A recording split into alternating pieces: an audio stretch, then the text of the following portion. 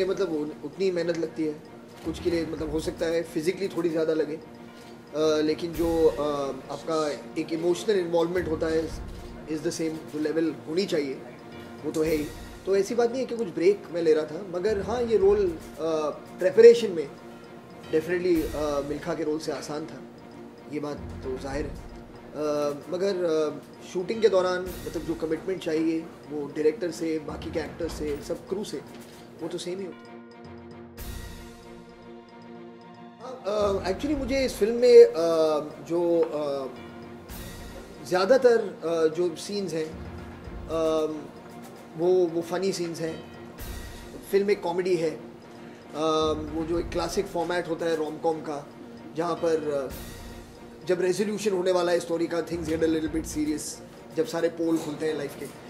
तो ऐसा ही कुछ है मगर बहुत कॉमेडी करने का मौका मिला है इसमें। जो डायलॉग्स थे बहुत फ़नी है सिचुएशन बहुत फ़नी है। तो I think for the first time जो सारी फ़िल्में मैंने uh, आज तक की हैं as an actor at least this is probably the most humour that I got to do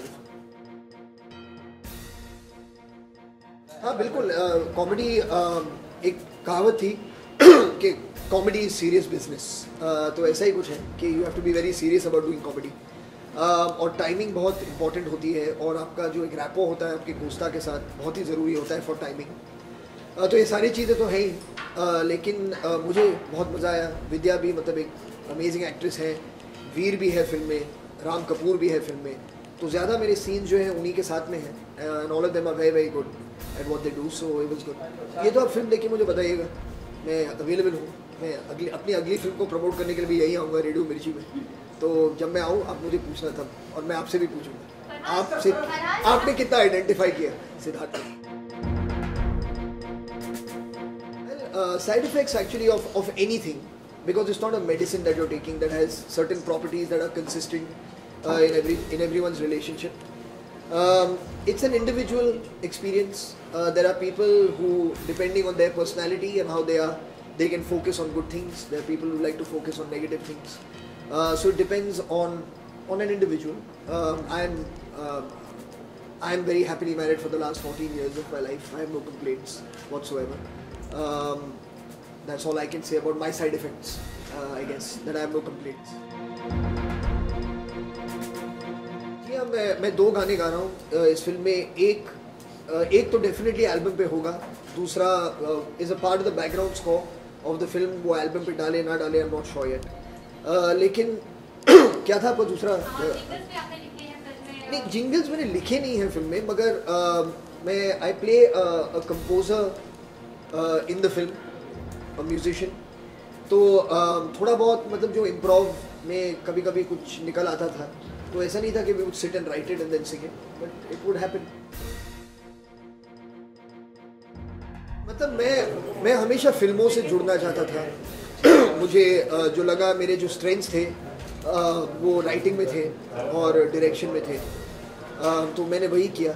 जब मैं वो फ़िल्में कर रहा था, दिल चाहता है लक्ष्य डॉन तब मुझे एहसास हुआ जब मैं एक्टर्स के साथ मतलब बहुत ही नज़दीकी से करीबी से काम कर रहा था एज ए डायरेक्टर तो मुझे तब एहसास हुआ कि जो एक्टिंग का एक एक्सपीरियंस है वो अगर मैं ट्राई करूँ तो अ, मुझे और फ़िल्मों के बारे में परफॉर्मेंस के बारे में एज ए डायरेक्टर ऑल्सो भी सीखने को मिलेगा।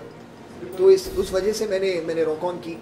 फिर मुझे वो एक अच्छा एक्सपीरियंस था एक अ, बहुत मुझे लगा एक अच्छा अनुभव था कि like to explore that further लोग क्या सोचते हैं मेरे बारे में? अ, कब उन्होंने मुझे सीरियसली लेना शुरू किया? कब वो मुझे सीरियसली लेना बंद कर देंगे? ये उन पर डिपेंड करता है। मुझे मतलब जो काम अच्छा लगता है, मैं वही करता रहूँगा। मुझे बहुत खुशी है। और मैं बहुत मतलब जो कहते हैं शुक्रगुजार हूँ ऑडियंसेस का, जिन्होंने मुझे पिछले पिछले तेरह, चौदह चौदह सालों से जो जो भी काम मैंने किया है ज़्यादातर उन्होंने वो काम पसंद किया है and they supported me so thank you हर चीज़ का एक वक्त होता है। इस वक्त जो मैं काम कर रहा हूँ, वो उन फ़िल्मों पे है। जो अगर मैं एक्टर नहीं होता तो मुझे उन फ़िल्मों पे काम करने का मौका मिलता नहीं। तो मैं, मुझे बहुत खुशी है कि जिन प्रोजेक्ट से मैं जुड़ रहा हूँ, जिन डायरेक्टर्स के साथ मैं काम कर रहा हूँ, वो मुझे सिर्फ़ एज एन एक्टर ही मौका मिल सकता है। तो I am very happy to I can only be grateful for it there is nothing really else to feel I am very thankful that the work in Bhaag Milkha Bhaag every one work not just my work in Bhaag Milkha Bhaag has been appreciated to the extent that it has by the audience first and then by fraternity. Um, we are all very proud of the film we are all very happy that people have recognized our efforts in it. Um, everything that comes uh, as a part of that, you know, or as an after effect uh, of that, I'm grateful for. So if people have a certain anticipation for my film, um, it's something that should just keep reminding me that I have to stay focused uh, on my work. I have to keep making the choices that I believe are true to who I am because I feel that that honesty is palpable on screen. Uh, when you're an actor, director, or a musician, or anything, when you're doing something honestly, people feel it.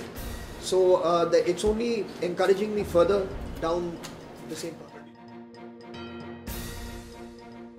It's a combination बहुत सारी emotions एक साथ चलती हैं इस वक्त जब film release पे आती है जी जी अपना uh, मतलब एक सेलिब्रेशन भी है क्योंकि मतलब इतनी प्यार के साथ हमने फिल्म बनाई है वो अब हम लोगों के साथ शेयर करने वाले हैं तो वो एक एक एक्साइटमेंट होता है उसका।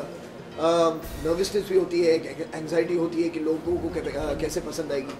मगर सच तो ये है कि मतलब हमें बहुत मज़ा आया फ़िल्म को बनाने में, और हम उम्मीद करेंगे कि जो मज़ा हमें आया फ़िल्म को बनाने में शूट करने में सीन्स बनाने में, वो आप लोगों को भी, दर्शकों को भी वही महसूस होगा जब वो देखें। तो you can just hope for the best I'm okay with doing any role that uh, any film where I feel my part is adding something to the overall picture.